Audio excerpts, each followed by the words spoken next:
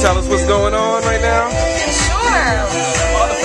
Excuse me, I have a peppermint in my mouth, but we're here for Anoop Desai's private listening session with DJ Trauma for um, his EP 0.0 that debuted on Billboard last Wednesday. It's like a, a pre-release. And excuse me again, I have peppermint in my mouth.